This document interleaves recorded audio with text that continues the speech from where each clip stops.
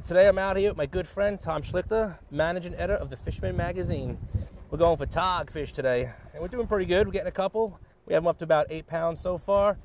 Pretty good action. Wind and tide are going against each other. A little tough to stay on a piece, but we keep moving back and forth, getting us on it. Every time we get on the piece, it's lock and load action.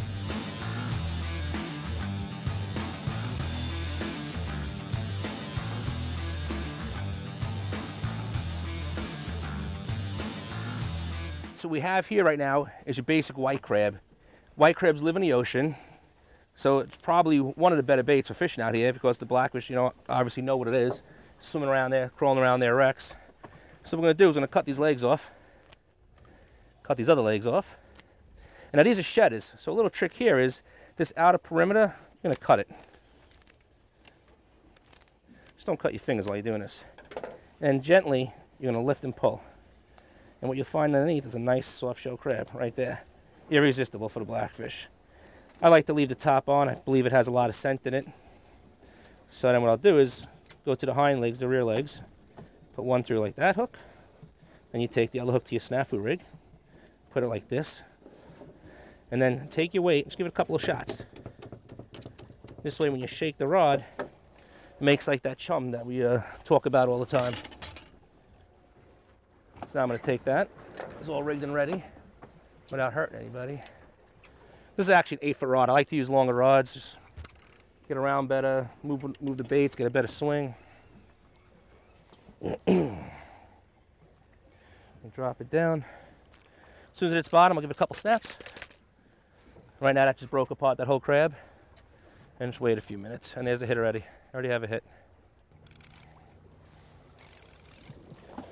Feels like a little bit better. This one might make keeper size, or I might have two on here. Might have a double header. On your snafu rig? On the snafu, yep. Double header snafu rig tog. And what did I say? You called it. Look double at that. double header of togs. What happened is here is that the first one bit it, split it in half, mm -hmm. and then mm-hmm. the other one came. And that is a twin, if you ask me. Identical fish. it's Three colors on those fish right yep. now. You know, nice markings. Yep. And they're fighting really good. The water cools down. When I put my hook out there. This is the must-have tool on the boat of these things. It releases the fish better. You're not really touching their slime. You know, you never even have to handle the fish at all. Yep. It was crazy year. There he is. All right.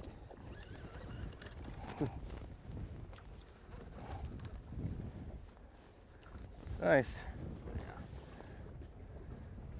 Shallow guy. I love blackfish. Look at how tough those lips are on this thing.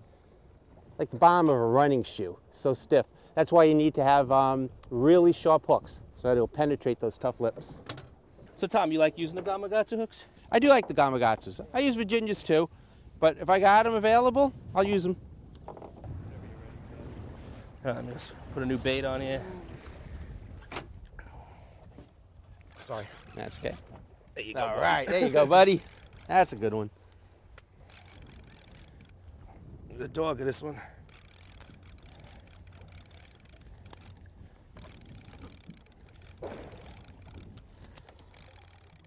There you go. There's a nice keeper. Yeah. I don't know how good he's hooked, but let me see. I'll just lift him up. It looks like he's hooked good. Just watch it back there, Tom. There's a nice keeper. Beauty, huh? Probably maybe three pounder, maybe. Yeah. Good white chin there. Yep.